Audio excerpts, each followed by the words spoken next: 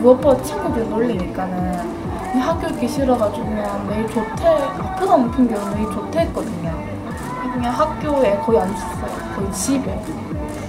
그냥 거의 학교에 있는 시간보다 집에 있는 시간이 더 많았어요 물론 거기서 이제 제가 이제 학교에서 이제 그런 게 없으니까는 이제 안 좋은 일 이런 게 없으니까는 이제 집에서도 이제 많이 해가지고 이제 부모님하고도 사이 좋아지고 그래요.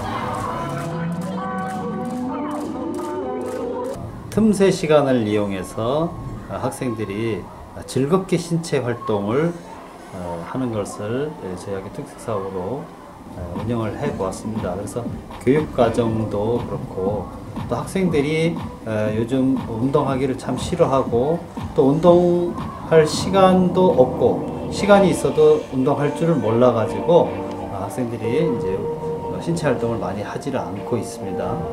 어, 그래서 저희는 특히나 여학생이기 때문에 여학생이 즐길 수 있는 그 스포츠 활동을 교육 과정에 어, 편성 운영을 해서 아이들이 그 체육 친화적인 환경을 만드는데 노력을 했고요.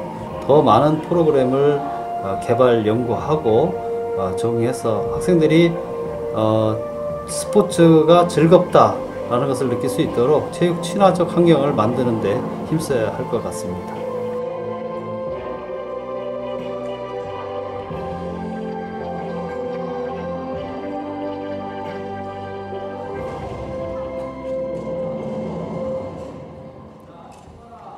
1학년 때부터 국민 건강 체조하면서 키도 많이 크고 몸매도 많이 좋아지고 성격도 더 활발해진 것 같고 어, 친구 사이랑 친구들도 사이가 더 많아지고 뭐 후배들이랑도 많이 알게 되고 친구들도 더 많이 알게 돼서 너무 좋아요.